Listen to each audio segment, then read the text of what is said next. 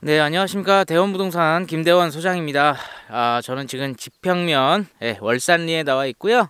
저 오늘 소개시켜 드릴 아, 주말 주택용 혹은 주말 농장용 예, 매물을 좀 가지고 나왔습니다.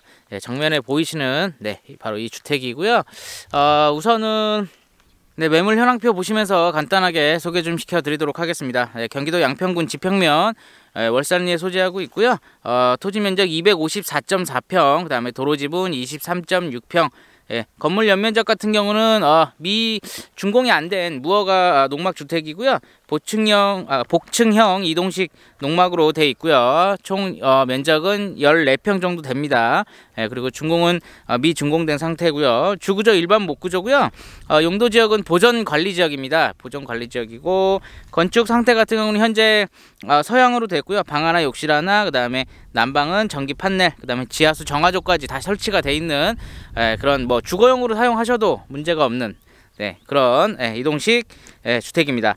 주변 환경 같은 경우는 지방도에서 약 600m 거리로 굉장히 가깝고요. 지평 면소재지 차량 6분, 예, 지평 초등학교와 유치원이 차량 6분, 경의중앙선 지평역까지 차량 7분.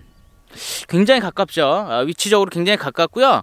어, 2차선 도로에서 이렇게 월산리 원주민 마을을 통과 해서 이렇게 오셔야 됩니다. 예, 통과하는 그 길이 조금 좁습니다. 네, 한 4m 도로. 하지만 아스코 포장 굉장히 잘 돼 있고요. 큰 무리는 없습니다. 오시는데. 예, 그렇게 돼 있습니다. 예, 그럼 본 매물 어, 외관부터 한번 둘러보실 텐데 어, 전반적으로 뭐 잔디라든가 조경 이런 건 거의 없다고 보셔야 돼요. 음, 그런 거 감안하시고 보시면 되겠습니다. 자, 그러면 저 위쪽에 이제 예, 메인 도로로 이렇게 오시다가 제 어, 은색 철제 펜스 있는 부분으로 이렇게 오시다가요. 이렇게 타원형으로 어, 포장된 부분을 이렇게 내려오시면 되시고요. 쭉 약간의 완경사입니다. 완경사지고 이렇게 내려오시면 바로 본 매물에 도달할 수 있고요. 이 앞에 이제 이렇게 포장된 부분 주차하시면 되시고 네, 바로 좌측에 주택 그다음 주택 뒷부분 네 여기 이제 주말 농장으로 쓰셨던 것 같은데 지금 현재 관리가 뭐 좀 많이 안 돼 있는 상태고요. 한번 좀 정리를 하셔야 될 것 같아요. 네, 이렇게 돼 있고 이쪽, 이쪽으로 또 들어오시면 이 우측이 경계인데 경계 지금 뭐 표시는 안 돼 있습니다. 안 돼 있고 여기 좀 소나무가 이렇게 식재가 되어 있는 모습이고요. 이 라인 따라서 직선으로 경계라고 보시면 되세요. 저 도로 부분까지 해서 이 라인 이렇게가 이제 경계고요. 이 앞에 노란 개나리 있는 부분 여기가 또 경계라고 보시면 됩니다. 네, 이 부분 이렇게 땅 모양은 굉장히 이쁩니다. 네, 땅 모양은 어, 가로 장방형 토지로 보시면 되시고요.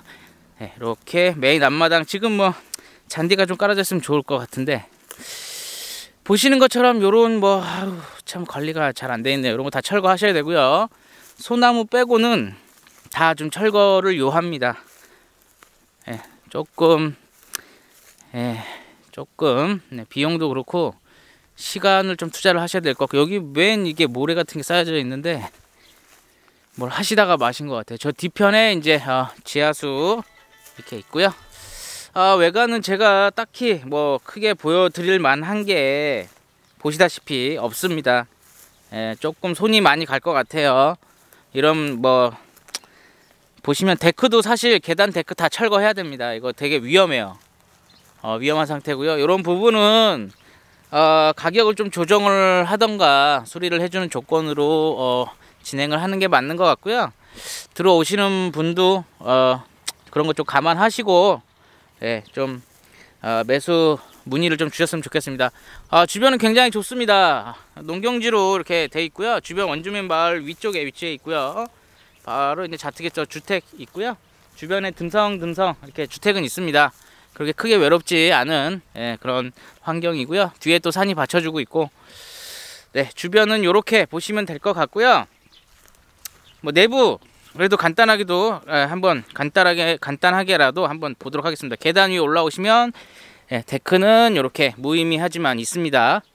다 다시 하셔야 되고 자, 네 그럼 내부 바로 들어가 보도록 하겠습니다. 아, 들어가시면 바로 우측에 이렇게 예, 좀 아담한 주방 시설 이렇게 부엌 돼 있고요.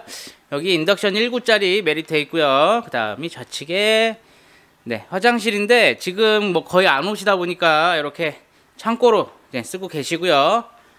굉장히 농막치고는 화장실이 좀 아, 넓습니다. 넓게 잘 빠져 있고요.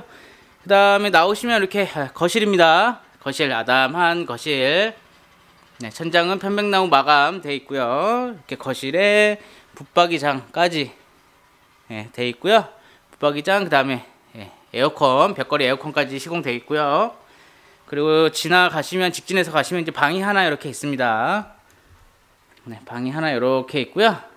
아담하네요. 그냥 네, 앞뒤로 창문 빠져 있고요. 아담한 방 하나 있고 그다음에 이쪽에 이제 나오셔서 바로 2층으로 올라가시면 다락방 있습니다.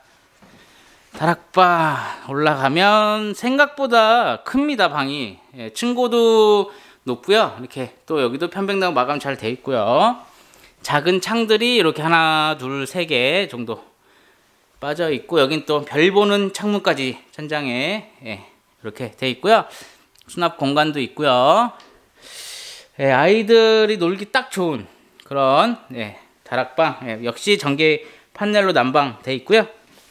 네, 농막주택 같은 경우는 방 하나, 욕실 하나, 그다음에 다락방 하나, 아, 거실, 주방, 뭐 주방이라고 하긴 조금 예, 그런 예, 거실과 거실 및 주방이죠. 거실 및 주방까지 이렇게 구성이 되어 있네요. 네, 오늘 소개시켜드린 매물 아, 어떻게 보셨는지 모르겠네요. 조금 어, 솔직히 말씀드려서 손볼 곳이 너무 많아서 예, 좀 그렇긴 하지만 저렴한 금액에 주말 농장 찾으셨던 분들 예, 입지도 근데 괜찮습니다. 아, 입주도 괜찮고요.